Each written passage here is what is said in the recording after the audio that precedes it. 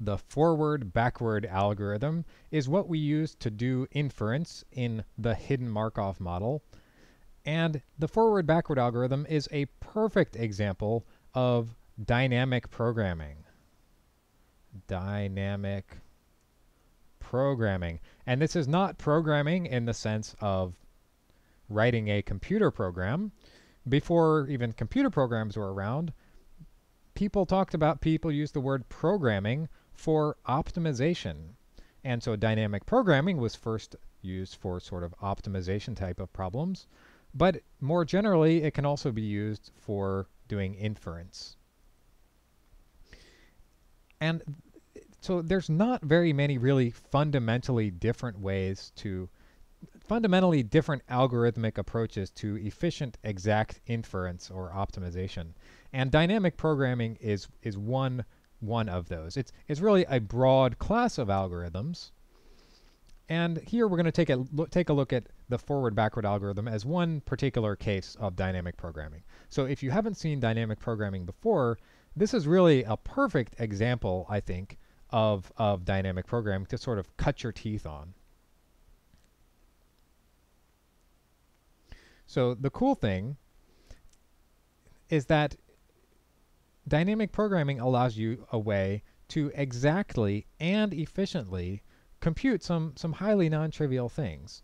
And it's due to so Richard Bellman Richard Bellman first introduced or first used dynamic programming for first used dynamic programming period. So what is what is the forward backward algorithm? Let's talk about the forward backward backward algorithm. So I wrote down here the, the the, graphical model for the for the hidden Markov model, and typically we'll we'll assume that these x's are are observed. That's the typical situation. And we'll assume, so the forward backward model assumes that we know the distributions, you know, the emission probabilities, I called these, oops, switching colors on me. I called these the emission probabilities before, so we assume that, that those distributions are known, we'll assume that the transition probability distributions, or the transition matrix is known, and we'll assume that the initial distribution is known. So assume these are all known. What the forward-backward algorithm does, maybe I'll put it in blue, the forward-backward algorithm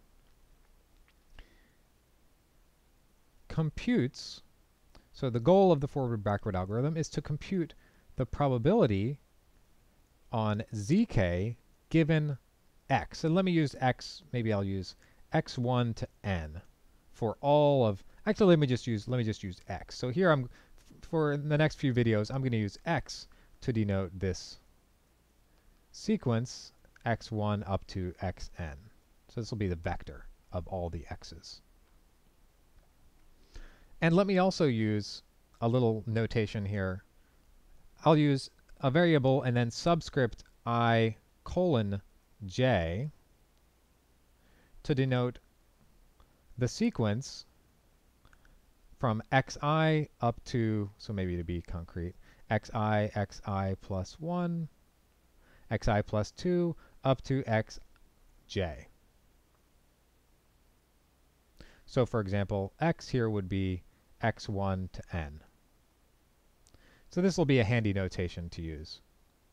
Okay, so sorry, that was a little aside. And our goal in the forward-backward algorithm is to compute the probability for the probability, the marginal probability on one of these, z's, given all the x's. Observe those. And it can be broken up into the forward part, the forward algorithm, And in the forward algorithm, we compute the probability of zk, make that a little clearer, zk, the joint distribution on zk and x1 through xk, so I'm using this convention here, for all k from 1 to n. So we're going to compute this these joint distributions.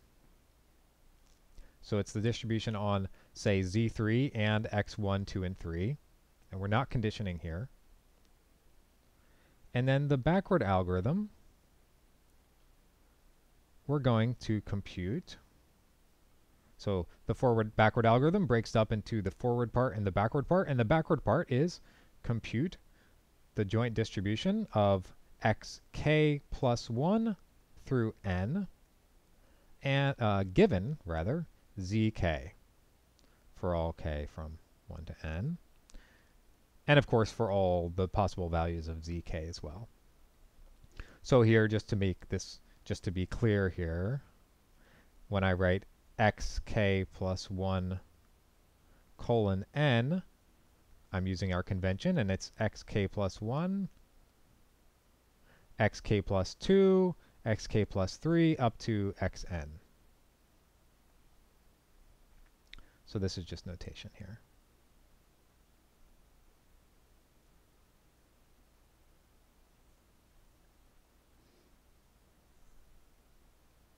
So this is our goal in the so in the forward backward algorithm we're doing this and it takes two steps, the forward part and the backward part. And so how does these how do these give us if we can do these, how do these give us this result? Well, the probability of zk given all the x's is proportional to, as a function of zk, it's proportional to the joint distribution on those, zk and x. And we can break up, we can condition here, we can break this, we can break up x, x is, remember this is x1 through xn, into x1, or rather xk plus 1 through n given zk, so I'm going to condition on zk and keep this part out, or rather, and I'll, I guess I should say, and x1 through k.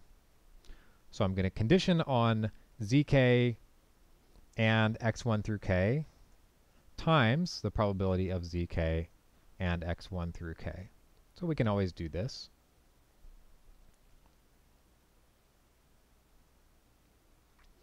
And now let's look at this. So let's look at this part here.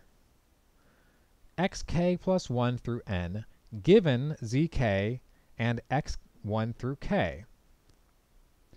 So I claim that so let's look at so let's look at the diagram here. Let's say k is let's say k is is I don't know k is uh, two say. So I claim that this is conditionally independent of this given this. So, so let's take a look at why that's the case. So xk plus 1, so that would be xk plus 1 would be all of these guys here, right, if k was 2.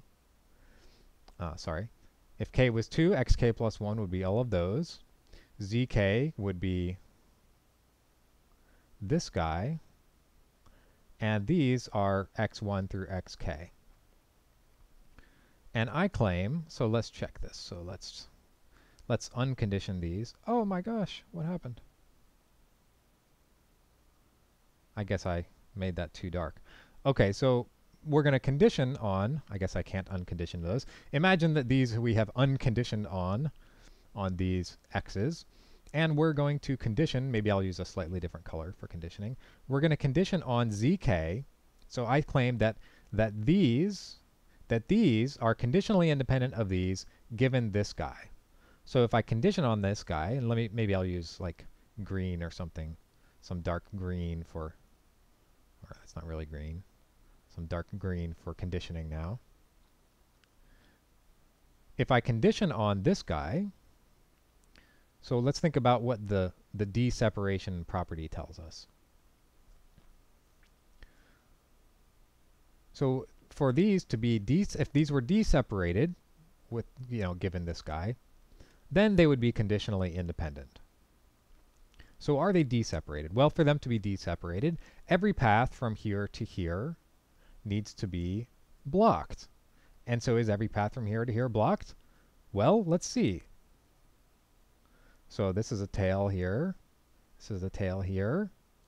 And so since this guy is conditioned on, these are these are blocked at the tails, and so every path, right? I mean, every path would would of course have to go through here, and those are all blocked. So yes, so they are d-separated, and therefore these are conditionally independent of these given z2. So therefore, we can get rid of this part. Therefore, this just becomes this.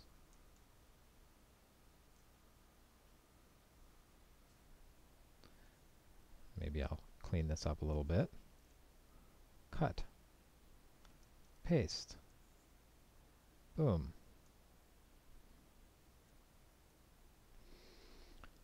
So that becomes that.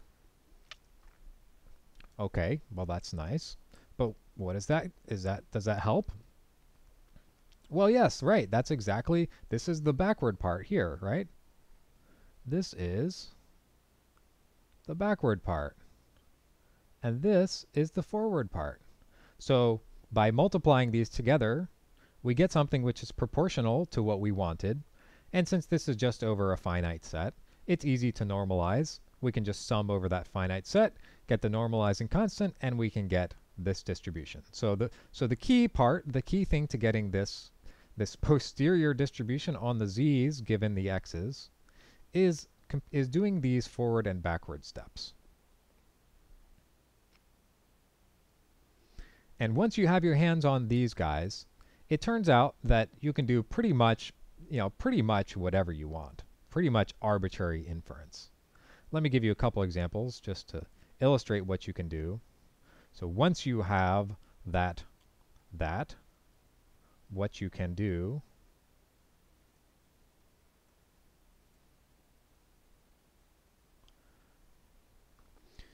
you can do pretty much arbitrary inference. For example, you could compute the probability of that zk is not equal to zk plus 1 for any given k. So sort of like change detection. One type of thing. Another example would be well, I'll just I'll just give you that one example. I think I think you can probably see. So this is one example of inference, and there's tons of other things. I mean, pretty much anything you know, that you that you want to compute about the z's given the x's, you can do. You can estimate the parameters of your HMM. And by the parameters, of course, I just mean these guys, right? The transition probabilities, the T matrix, the transition matrix, the emission probabilities, if the emission probabilities are you know, you choose some parameterized distributions. Maybe they're Gaussian, so you need to estimate the mean and variance for the Gaussians for each zk. And usually, I mean, usually you don't have to estimate. Usually, usually the initial distribution doesn't really matter too much, but you might want to estimate that also, I guess. And so you can estimate those parameters. And this is done using the Baum-Welch algorithm, which couples couples the forward-backward algorithm with expectation maximization. So we haven't talked about what expectation maximization is, but we'll talk about that a little later.